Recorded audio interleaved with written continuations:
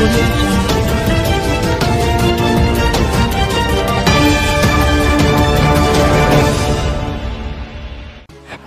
मैं हूँ लवली सिंह। आप देख रहे हैं भरा समाचार। आइए नज़र डालते हैं आज के कुछ खास खबरों पर। अलीगढ़ में होली के रंग के कारण नज़र बंद हुई मस्जिद। सुबह तड़ाके अंधेरे में पूरी मस्जिद को पर्दे से ढकवाया गया।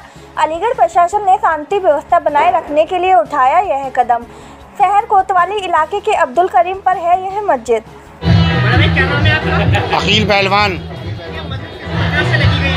ये मस्जिद हलवाई आना सब्ज़ी मंडी चौराहे पे। होली की वजह से ढकवाई गई है इसको। हम लोग ढकते हैं इसको हर साल की साल। ये पिछले तीन साल से चला आ रहा है।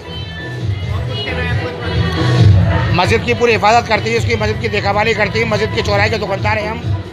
मस्जिद इस तरह ढकते हैं कि होली के रंग बिक रहा है इस वजह से कोई गंदगी ना हो। मस्जिद को ढकना बहुत ज़रूरी है।